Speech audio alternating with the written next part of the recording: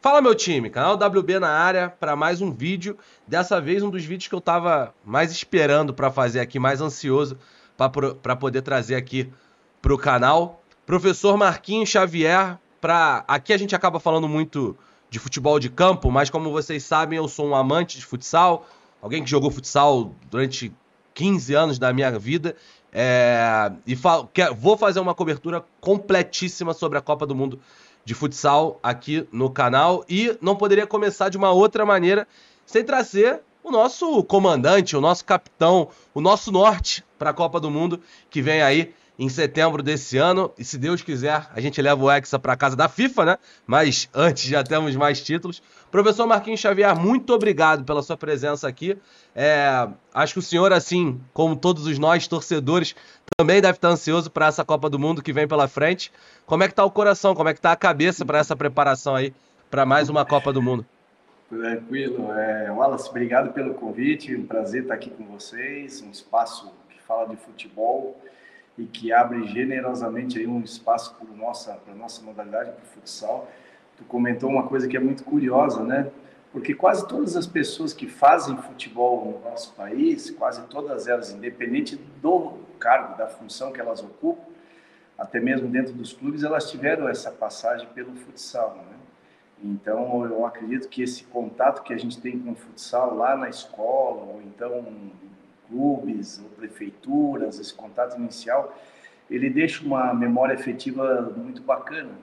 O problema é que nem sempre essas pessoas que passaram pelo, pelo futsal nos dão um espaço, né? nos dão uma oportunidade. Então é difícil, às vezes, essas pessoas que passam pelo futsal nos deixar né? um pequeno espaço para que a gente possa falar. Então eu valorizo muito, te agradeço pela oportunidade de poder falar também com os teus seguidores, com os teus ouvintes aí do canal, que é muito legal, muito bacana.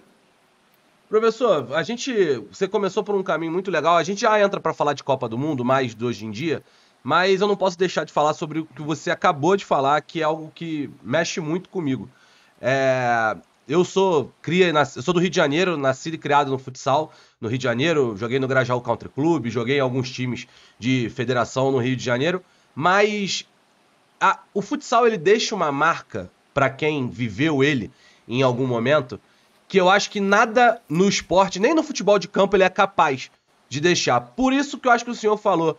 Porque acho que todo mundo que passou pelo futsal quer transformar a modalidade. Mais do que ser vencedor, o Rodrigo Capita fala muito sobre isso, né? Que hoje ele, além de ser um uhum. jogador, capitão do Magnus, ele é um cara que está tentando alavancar a modalidade como influencer também. A gente tem hoje lá no Magnus o Tofa, que está nesse caminho, o Fred do Desimpedidos, que fez aquele projeto lá no Magnus, e muito mais gente com relação a isso. E a gente está vivendo no momento no Brasil uma coisa muito interessante, que é essa coisa da CBF entrar, de da última Copa do Mundo já foi importante, isso, já vi o senhor falando sobre, e para essa Copa do Mundo também vai ser importante. A gente está vivendo, para o senhor, queria saber a opinião, se a gente está vivendo um momento de que o futsal está começando a dar passos muito interessantes para chegar num lugar devido né, e obrigatório dele no, no cenário do Brasil. É, você acha que estão tá, andando para um caminho interessante para o futsal? Eu acredito que sim. É claro que a gente está aprendendo né, a fazer isso, porque é, nós fomos educados no futsal para jogar ou para trabalhar dentro das quatro linhas, como literalmente a gente fala. A gente sabe muito pouco do que acontece fora. Então, eu diria assim que algumas pessoas, né, como o Rodrigo, por exemplo, que é um grande exemplo de um profissional que sempre batalhou muito dentro da quadra e enxergou uma possibilidade de também fazer futsal fora da quadra, né, e tem tido aí um retorno, uma visibilidade muito legal e isso acaba, claro, trazendo benefícios para nossa, para a nossa modalidade.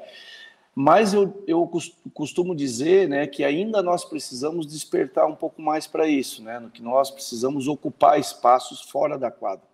Então, eu, eu sou um crítico né, da relação, às vezes, do treinador que se dedica apenas a entender sobre o jogo e estar ali dentro do, da quadra, é, vivendo do jogo. Por que, que eu falo isso? Porque eu tenho muitos amigos, muitos companheiros de profissão, alguns que desistiram, né? Da carreira de ser treinador, porque depositaram tudo na sua é, presença física dentro da quadra, como treinador. E ao contrário do nosso irmão rico, né, o futebol, a gente não recebe para se manter quando você fica desempregado seis meses, um ano, como é o caso. Né? Então, é, pensar em alternativas que possam te manter vivendo do futsal sem que você esteja dentro da quadra. Isso te dá uma liberdade maior, te dá uma segurança, te dá a possibilidade de você selecionar melhor as tuas opções de trabalho às vezes, né? Não te deixando refém de convites que às vezes você é obrigado a aceitar porque você está desempregado.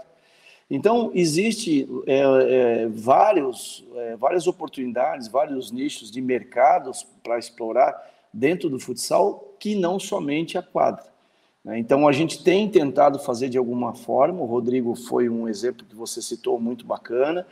É, eu estou tentando também, em alguma medida, poder inspirar as pessoas a, a, outras, as outros, a outros direcionamentos, como, por exemplo, eu tenho um projeto hoje de publicação de livros, né? então nós temos uma biblioteca do futsal brasileiro com 14 obras, né? é a maior biblioteca do futsal mundial, por quê? Porque há tempos atrás nós não tínhamos ninguém dentro da nossa modalidade querendo escrever, deixar um legado, né? colocar os conhecimentos realmente é, é, à disposição das pessoas que querem iniciar. Porque muitas vezes quem já está introduzido no meio já sabe, né? Ou acha que sabe o suficiente para não precisar recorrer a isso. Mas e quem está academicamente começando a sua vida, a sua profissão? Será que essas pessoas não precisam dessas informações? Então, o projeto tem por objetivo incentivar essas pessoas a produzir. E é uma renda, né? ela acaba sendo uma renda para que essa pessoa possa depois comercializar seus livros, ampliar, traduzir para outros idiomas, enfim.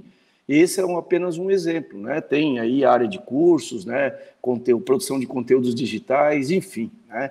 É, esse ramo é, de influencer, né? Podendo utilizar o futsal como uma ferramenta também. Existem essas, essas possibilidades e a gente tem que explorar. Então, eu acredito que a gente já iniciou um movimento e a gente já vê pessoas com um bom trabalho, com um trabalho bacana sendo feito dentro do futsal, específico né, do futsal, porque uhum. misturado com futebol e outras modalidades, isso já ocorre. Né? Muito interessante, é realmente muito interessante. É até é bom citar, por exemplo, o Vinícius, né, multicampeão por seleção brasileira e toda a sua carreira lá na Espanha também, também tem feito um trabalho muito interessante nas redes sociais dele. A galera que gosta do futsal, siga o professor Marquinhos Xavier. O Capita, ele já furou a bolha no Brasil, né? Acho que muita gente acaba conhecendo, mas sigam também o Vinícius. O trabalho dele de futsal no, no, no, Instagram dele é muito interessante porque ele fala muito sobre sistemas táticos que às vezes não são muito conhecidos, fala muito sobre o quadrante do Ferret, volta e meia ele tá, tá sempre falando, então é, é muito interessante. Professor... Publicamos um livro, inclusive, do Vinícius. Ah, né? é? o Vinícius. O Vinícius lançou um livro que se chama O Capitão é, é, da, do seu próprio jogo, né? É um livro muito legal. Quem produziu é, foi a Max, né? Ele nos procurou e a gente deu todo o alicerce para ele publicar. É um livro que está à disposição, inclusive está no meu site lá para quem quiser acessar. Conta muitas histórias da carreira dele, muitas coisas bacanas dos bastidores da carreira de um atleta profissional. Então é um livro bacana mesmo. Vale a pena vocês buscarem lá. E quando esse vídeo sair, esse link estará na descrição do vídeo. É só você dar uma olhada na descrição do vídeo e na, no primeiro comentário, eu vou deixar comentário fixado, para você ir lá na loja, comprar esse livro e vários outros, né? Como o professor falou, são 14 lá publicados para você saber um pouco mais sobre o futsal e também sobre a história de lendas brasileiras. O Vinícius, o professor Marquinhos, o Capita, não é que eles são apenas grandes profissionais, eles são lendas da história do esporte brasileiro. São que às vezes a gente não valoriza nossos ídolos. O brasileiro tem é. esse problema, né? De não valorizar os seus ídolos. E principalmente numa modalidade como o futsal, uma das mais vencedoras do Brasil, a gente precisa valorizar mais os nossos ídolos.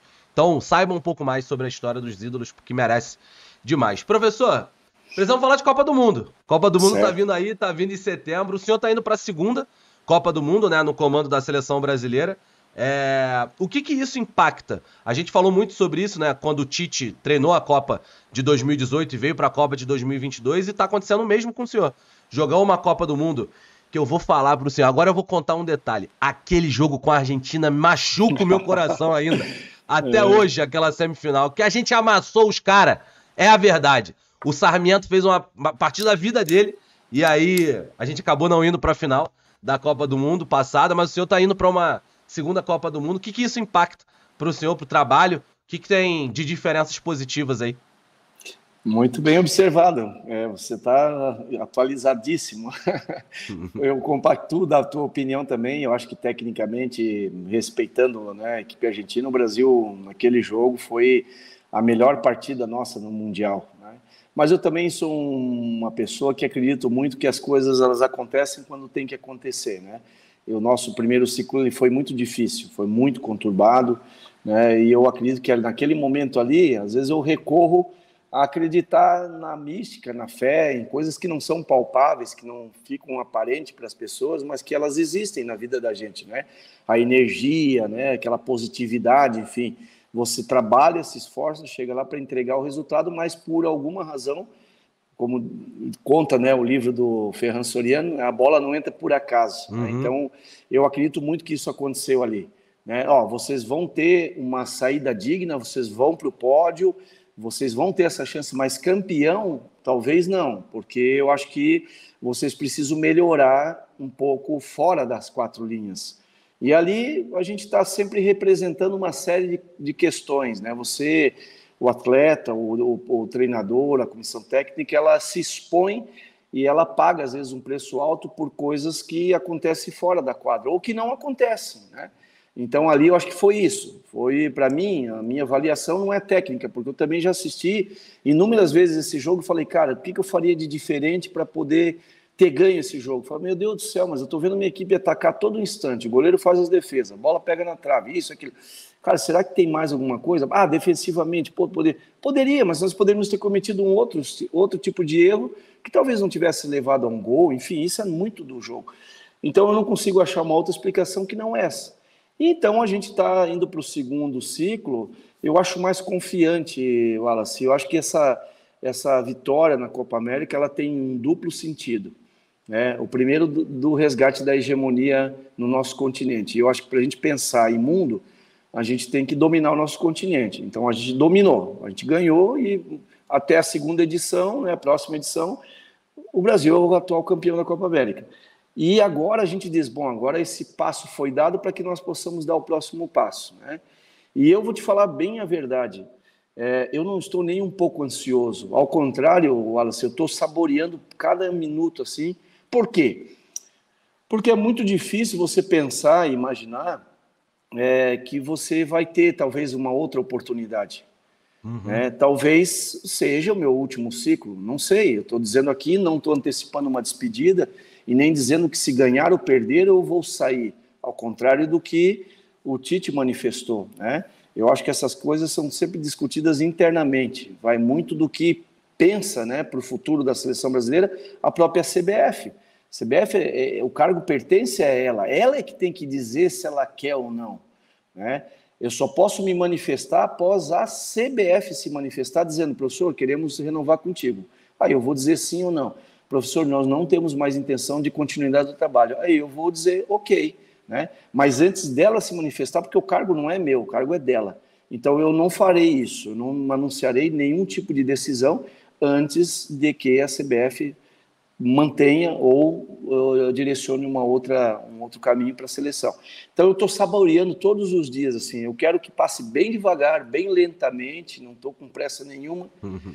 A Copa América me trouxe um pouco de paz, eu te confesso, porque eu estava perseguindo esse título, né? Nós também perdemos para a Argentina na uhum. semifinal, nos pênaltis, né? É, então, aquele negócio do pênalti ali, muito complicado, enfim, perdemos a decisão e não jogamos a final da Copa América. E isso estava tudo num pacote só. E era uma competição 2 em 1, um, era, não era só o título da Copa América, era também do título das eliminatórias da Copa do Mundo. Então a gente pagou o, que eles nos deviam, né? Então tá pago. Eu acho que isso aí me trouxe essa paz, dizendo, bom, tá aí, ó, tá pago, porque certamente a gente vai ter outros encontros, outros combates e que talvez a seleção brasileira esteja num outro momento, né? Então saborear e, claro, continuar trabalhando muito, né, para que a gente consiga preparar bem a seleção para esse mundial. Professor, eu. Aliás, antes de eu fazer a próxima pergunta, já peço para vocês deixarem o like, se inscreverem no canal. Galera do futsal que está chegando pelo Marquinhos Xavier, pode ter certeza que eu estou sempre falando de futsal por aqui. Vou trazer a cobertura da Copa do Mundo, mas também da Liga Nacional. Eu estou sempre. Como eu moro em São Paulo, consigo ir a alguns jogos também. Uhum. É, então, Sejam muito bem-vindos, deixa o like, se inscreva no canal. Professor, como aqui eu te falei, o nosso foco principal às vezes é o futebol de campo.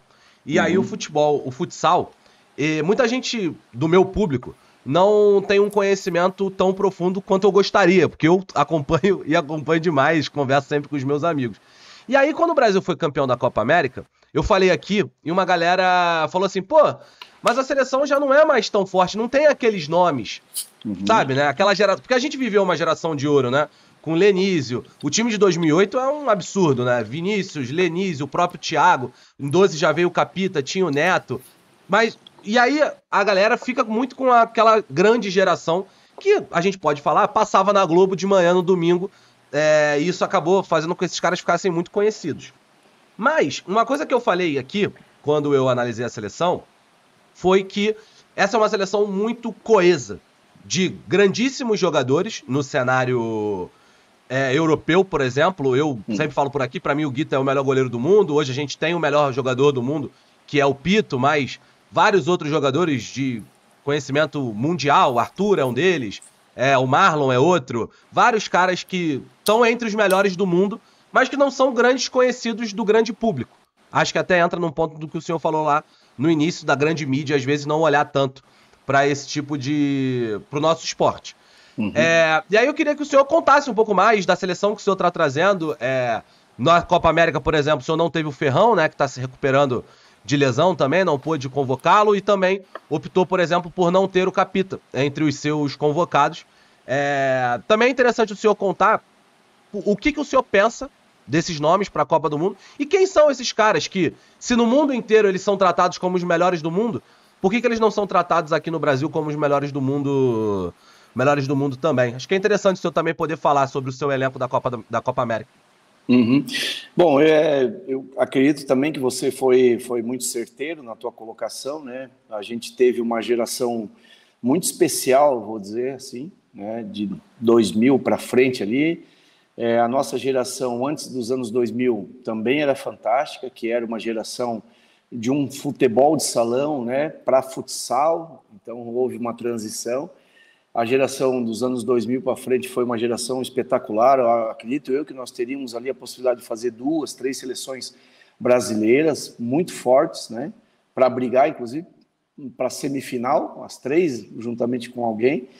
E isso foi, de certa forma, reduzindo um pouquinho, né? Nós fomos reduzindo esse número de atletas com uma especificidade de jogo mais plástico, né? De ter mais vamos ser um jogo mais acrobático uhum. e objetivo, tá, ao mesmo tempo, porque esses jogadores eles tinham plasticidade, mas eram muito cirúrgicos, né? Eram definidores, jogadores com qualidade realmente técnica muito alta, muito expressiva. Então isso foi diminuindo, né? Acredito eu que tem a relação do impacto, né? Das escolas, a diferença na forma de treinamento, as quadras começaram a aumentar um pouco a dimensão, acho que nós perdemos um pouquinho do, do gestual técnico, as metodologias se afastaram um pouquinho daquela metodologia mais analítica, de repetição, de movimentos, para ser mais, vamos dizer assim, mais situacional, mais em cima do jogo, e aí a gente começou a jogar mais e dar menos importância para a técnica, o que, na minha opinião, né, é, ela acaba corroborando para perder um pouquinho da qualidade do refinamento técnico, do fundamento, né? Então eu acredito que isso aconteceu, é, embora em longa escala, por ser um país geograficamente muito grande, a gente continua produzindo, né? Mas essa produção, ela foi, ela está sendo já como no futebol ceifada muito mais cedo, né? Nós hoje perdemos atletas muito cedo para a Europa, por uma questão econômica. E aí a população também acaba não tendo a convivência com esse atleta. Por quê? Eu vou te dizer isso. Eu vou me permitir aqui usar alguns nomes, né? Eu, eu tenho várias, várias, várias, várias características de alguns, mas eu vou me permitir aqui. Por exemplo, você falou do Ferrão é, eu vejo que o Ferrão tem a mesma capacidade técnica desses atletas que também estiveram na geração de ouro, uhum. 2000 né, é, até 2016, vamos colocar assim, porque foi o ano que nós praticamente encerramos aquele ciclo dessa geração. Né, uhum. No Mundial de 2016, onde o Brasil foi eliminado para o Irã nas oitavas de final. Uhum. Pior participação Di... da história da seleção, né? É, Diego, do Barcelona. Cara, o Diego tem uma condição Crack. semelhante a muitos. Eu não vou fazer a comparação do Diego com o outro, eu vou fazer uma análise que o Diego tem tanta condição como qualquer um dessa geração. Pito, a mesma coisa. Aí eu deixo para o teu público fazer. Podemos comparar o, Ferrão com o fulano, o Pito com esse? Uhum. Vocês vão acabar vendo que realmente ainda existe, sim, a seleção tem isso. Qual o diferencial? É que nessa geração de 2000, nós tínhamos pelo menos né, 70% da seleção brasileira jogando no Brasil. Hum, é verdade. Nós íamos recorrer a atletas que estavam fora, ali na, na, no Mundial de 2008, 2012, numa proporção significativa, talvez ali 60-40, 50-50, enfim. Porque uhum. o Brasil conseguia manter os seus craques aqui. Então, esses craques estavam jogando a Liga Nacional, estava todo mundo acompanhando, esses craques estavam ganhando. O público estava mais próximo dessas pessoas. E aí tem essa, para mim, é um ponto cego de que essa geração é menos do que a geração anterior. É que talvez era mais vista a geração anterior aqui no Brasil. Hoje eles estão espalhados para o mundo. E hoje a gente tem uma proporção talvez maior de atletas que estão fora servindo a seleção brasileira, e não é uma decisão apenas do Marquinhos. Eu gostaria que todos eles estivessem aqui, porque seria mais fácil reuni-los, seria mais fácil eu estar próximo deles e acompanhando, inclusive, os jogos deles nos clubes. Uhum. Mas a questão econômica, né, financeira, social, faz com que eles vão cada vez mais cedo. E aí eu vou dizer, um, para finalizar, é dizer assim, ó, é, isso eu usei na preleção, inclusive agora na Copa América, então estou te colocando aqui um pouco dos bastidores. Oh, eu, disse, eu disse assim, ó, nós sempre fomos né, grandes protagonistas no mundo. Vocês são jogadores protagonistas nos clubes de vocês. E vocês jogam nos grandes clubes da Europa. O desafio nosso é nós nos juntarmos e sermos uma grande seleção. Isso nós não conseguimos ainda. Ao contrário de algumas seleções, onde os jogadores das suas seleções são coadjuvantes em equipes coadjuvantes na Europa. Mas quando se juntam, formam uma grande seleção. Então, o nosso desafio é nos unirmos aqui, não para ser protagonistas individualmente, mas para ser coletivamente uma grande seleção. Nós precisamos ser complementares. É esse o trabalho. E eu acho que isso bateu na mente deles como uma coisa. É isso. E eu acho que hoje a seleção ela, ela é mais coletiva. É, nós vamos ver que o, a, artilharia foi dividida entre três jogadores nessa Copa América, né? Então talvez não temos mais um artilheiro com oito gols e o segundo fazendo dois, três. Talvez hoje vai ter três fazendo três, quatro gols. E para mim não é ruim. Eu acho que isso faz parte da coletividade. Né? Então, gostaria eu de ter um super trunfo, como as seleções passadas tiveram. Um, dois, três super trunfo, que era aquele cara iluminado por Deus e que, cara, e que fazia a diferença. Tinha hora que na tática não dava, botava a bola embaixo do braço e fazia isso. Eu também gostaria de ter. Mas também cabe me, cabe me ressaltar que nós sofremos muito para ganhar o Mundial de 2008 e 2012. Sim. Ganhamos um nos pênaltis e ganhamos um na prorrogação, com o gol do Neto, né? Faltando segundos. Cara, cara, excelente, essas conquistas são maravilhosas. Mas eu estou só fazendo um contraponto, porque eu acho que as pessoas às vezes opinam muito sem conhecer um pouco da história, né? É, conhecer um pouquinho do, da essência do negócio. Então, pô, eram maravilhosas, mas a gente também sofreu. Não foi fácil, né? Porque tudo é, tudo é muito difícil num jogo de pedificação, onde o centro é a bola, onde você tem ali o controle do espaço, mas a bola está no teu pé, né? É diferente do, do esporte de mão. Então vai sempre, ser sempre muito difícil. Sempre foi muito difícil, né, professor? A gente até falou de sempre. 2008 2012, mas a gente precisa lembrar que o Brasil perdeu 2000 e 2004 para a mesma Espanha e Perfeito. era a geração de ouro. Perfeito, perfeito, é isso. Né? 2004 a gente também não conseguiu sequer chegar na final. E 2000 a gente perdeu. Né? Mas enfim, eu estou só dizendo isso porque, é, Wallace, se tem uma coisa que eu fiz desde quando eu assumi a seleção, foi estudar a história da seleção. Então, dados, números, estatísticas, confrontos, como eles aconteceram, isso eu posso sentar com qualquer pessoa e discutir, porque eu não conseguiria, eu não eu pensei, eu sempre pensei que eu não conseguiria fazer a continuidade se eu não conhecesse a história. Então eu conheço bem a história, conheço bem os bastidores, inclusive de tudo, de tudo o que aconteceu e de como aconteceu muita, muitas coisas na nossa, na nossa modalidade. Né? Sempre foi muito difícil. Acho que é muito interessante eu falar isso, porque às vezes, e eu falo isso um pouco sobre o futebol também, que eu, por exemplo, eu sou de 1993 e eu me sinto um privilegiado. De, eu nasci no meio da geração do Romário e Ronaldo. E hoje em dia muita gente fala assim, nossa, mas antigamente. Fala, querido, eu sempre falo aqui, querido, você nasceu no meio de uma das maiores gerações da história do futebol. Você verdade. se acostumou mal. Verdade. Paciência, você se acostumou mal. Agora Não, você vai isso, ter que entender e... o que é de verdade. É, é, isso, cabe no futebol, né, Wallace? A gente acompanha no futebol é. hoje. Os nossos atletas da seleção brasileira de futebol são ruins? Pô, eles jogam nas maiores melhores do mundo. do mundo, né? Na geração, nas gerações anteriores, a maioria estava no Brasil? Sim, estava no Brasil. Então veja só que hoje nós temos um jogador brasileiro com características brasileiras, mas se desenvolvendo em outras culturas de futebol. Se eu pegar hoje um jogador brasileiro que está lá no Manchester City e trazer ele para o Brasil, com certeza eu vou precisar fazer um resgate do que ele é como individual, como jogo, que uhum. levou ele para lá, porque ele adquiriu outros comportamentos. E às vezes, se os comportamentos não forem complementares, eu não consigo ter uma sequência de trabalho bacana. Porque ele, ele vai continuar sendo um grande jogador individual, mas ele precisa somar coletivamente. E às vezes é difícil juntar um de cada lugar e que isso se complemente, que isso se complete.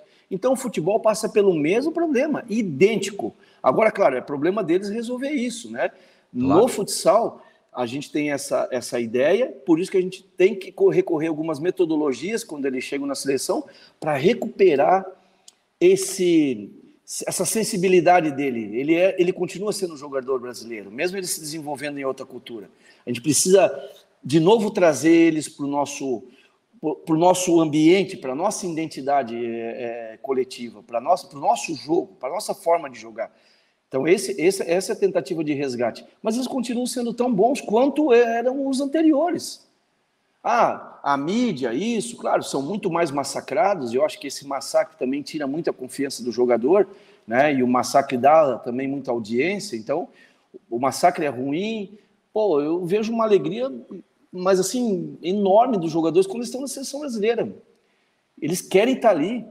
E eles não ganham na seleção brasileira o que eles ganham nos clubes deles, mas eles querem estar ali, eles vivenciam isso.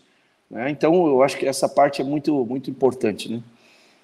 Que aula, hein? Que aula, hein, rapaziada? Estamos recebendo uma aula. Para você que não é do mundo do futsal e está chegando pela primeira vez aqui, você vai receber muito conteúdo de futsal daqui até o final da Copa do Mundo, mas depois também, com certeza, aqui no canal do WB. Mas que aula, cara. Estamos começando com o pé direito essa, essa cobertura aqui. Professor, para a gente caminhar para a reta final aqui, é, tem duas coisas que eu vi uma entrevista recente do senhor e ela me chamou muita atenção. A primeira, é, queria falar sobre parte defensiva da seleção uhum. brasileira. O Brasil tomou apenas três gols na Copa América em seis jogos. Para você que jogou futsal ou viu futsal alguma vez na sua vida, você sabe que a quantidade de gols não é a mesma do futebol de campo. Normalmente saem mais gols do que no futebol de campo. Então, você pegar um time que joga seis partidas, vou repetir, jogamos seis partidas e tomamos apenas três gols. Nossa meta foi vazada três vezes apenas, inclusive com pênalti contra que o Roncaglio pegou. Enfim, tomamos apenas três gols. O que que isso nos traz para uma Copa do Mundo? Uma defesa que é sólida, toma muito pouco gol e, por exemplo, marcou, marca muito bem um jogo para a galera de futsal que tá ligado, um jogo de de 5, né? Quando você bota o golinho, o Brasil marcou muito bem o jogo de golinha, por exemplo, da Argentina, inclusive vai fazer um gol nos últimos minutos. O que, isso, que, que isso impacta para nossa Copa do Mundo ter uma defesa tão sólida assim? É, boa pergunta. É, e me dá a oportunidade de dizer, inclusive, né? Eu tô aqui, eu sou muito, muito direto, eu não costumo fazer é, esconder o jogo, né? Eu usei também essa frase no vestiário, eu disse o nosso ataque, né, ele diz quem nós somos, mas a nossa defesa vai dizer o que, que a gente quer. Então, eu acho que se a gente quer algo, né, atacar, a gente sabe que a gente vai atacar, porque a gente tem essa qualidade. E, mas eu acho que defender bem é diferente do que as pessoas às vezes atrelam a uma equipe defensiva. Não. defender bem, primeira, primeiro processo de uma boa defesa é ela ter uma rápida recomposição. Ou seja, nós vamos lá, vamos atacar, nós perdendo a posse de bola, eu quero que nós quatro estejamos atrás da linha de novo defendendo. Ok, ok. Então a gente faz isso. Eu não estou sendo defensivo, perdendo a bola, ou o adversário com a bola na saída de meta e eu lá atrás, pendurado lá, agarrado na parede, me defendendo. Isso é diferente, tem uma diferença nisso. Agora, para me recompor, para voltar, tomei um drible, eu perdi a bola, eu tenho que ser o primeiro a me prontificar para voltar. Então, acho que hoje a gente entendeu isso. Também através né, da dinâmica de trabalho, você desenvolve comportamentos para que o atleta esteja mais ativado para a mudança do sistema, né, para sair do ataque para a defesa, para sair da defesa e para o ataque. Então, tu tocou num ponto importante, porque a seleção fez agora, na final contra a Argentina, o jogo de número 93 do ciclo. Né? Desde quando eu assumi, esse foi o jogo de número 93. E a nossa média de gols sofridos é de 0,94 por ali. Não chega uhum. a 1. O que significa que essa média se mantém baixa desde nós quando nós assumimos. E a média de gols feitos é de 4,70 e alguma coisa. Então é 4,7. Então nós continuamos sendo ofensivos. A gente continua fazendo. Olha a diferença que dá. 0,9 para 4,7, quase 5 gols por jogo, tomando menos de um, ou um jogo, vamos arredondar. Na Copa América ficou evidente né, que a seleção ela tem uma preocupação em querer ser bem defensivamente também, porque a própria defesa te dá muitas oportunidades. E aí vem aqui, porque eu sei que muita gente é, trabalha com futsal, é treinador, uma dica. Quanto mais equilibrada a tua defesa, melhor vai ser o teu ataque. Porque ele já, ele já parte de pontos equilibrados, já parte de pontos específicos quando rouba a bola do adversário. Agora, se a tua defesa está toda desajustada, se tu roubar a bola, tu continua desajustado, tu vai precisar se organizar para poder atacar.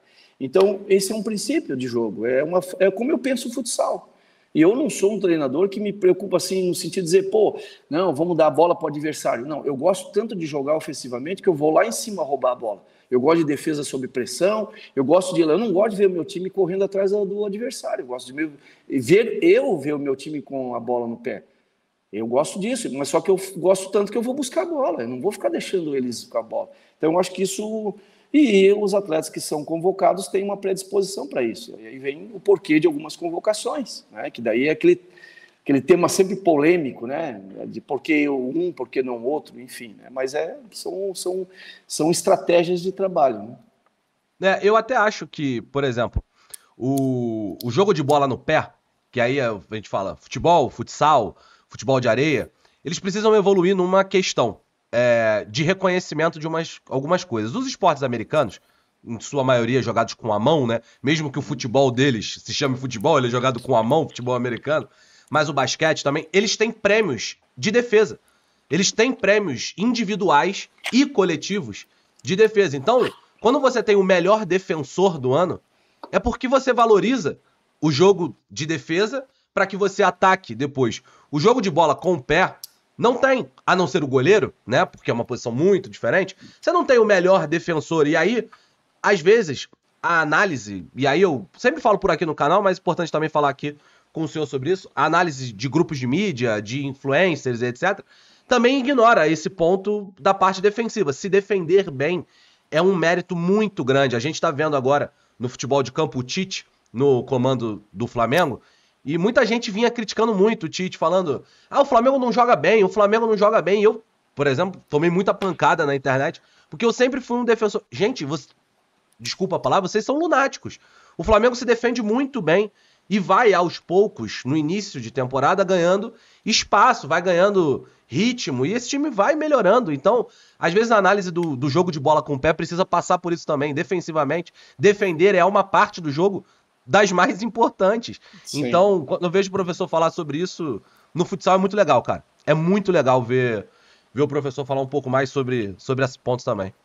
Não, e, e assim, é, é essa preocupação que se tem né, em ter uma defesa é, sólida, como eu falei, é, não nos caracteriza como sermos defensivo, mas ela alinha um olhar, um direcionamento para a preocupação de um sistema que é, é, é a base de, do, do, jogo. Né? A base do jogo ofensivo é a defesa. como eu mencionei antes, é a partir do equilíbrio da defesa, uma defesa bem equilibrada. É, a gente sabe onde a gente vai chegar e como que a gente vai chegar. Então é para isso que serve. Então quando a gente trabalha isso um pouquinho mais acentuado, claro, a nossa cultura brasileira ela não permite isso, né? Ela quer que você esteja igual o índio, né? Como diz, só ataque, né? É, só flechada, não vai, não é. Tem que saber se defender. Então a gente está tentando de alguma forma, né? É, colocar isso na cabeça dos atletas para que a gente possa ter uma, um equilíbrio entre defesa e ataque, né? E isso no futebol também, né? Você citou o caso do Tite, ele tem essa preocupação. E, por outro lado, ao final das contas, a gente está falando de um jogo de performance, né? É, alta performance é, é, resultado, gente, não adianta. Aí a gente ataca, ataca e, e daí não ganha, as pessoas vão criticar igual. Né? Então, um jogo de performance, ele precisa ter os dois sistemas muito bem equilibrados e esse sistema, o que dá equilíbrio é o sistema de transição, né? Do ataque para defesa, da defesa. Então, tem um miolo nesse trabalho todo ali que é fundamental para dar sustentabilidade para a defesa e também dar sustentabilidade para o ataque, né? Claro que isso é orgânico, não dá para separar uma coisa da outra, que está num rally, num uhum. rally só você defende, ataca e transita de novo defendendo e atacando, né? Então é preciso trabalhar essa, dessa forma. Mas eu entendo que o, o, o, torcedor, o público geral, ele quer ver um jogo de muito mais plasticidade, normal, e a gente busca isso também. Né? É, com certeza. Para a gente fechar, professor, a gente a gente sabe como o fut... a gente há uma brincadeira no futebol, né? Não tem mais bobo no futebol. E no futsal não tem mais bobo, já tem muito tempo, né? Que não tem mais bobo, aquelas goleadas, por exemplo, que a gente ia para a Copa do Mundo. Eu me lembro muito de uma das primeiras goleadas. Eu acertar o foco aqui da minha câmera.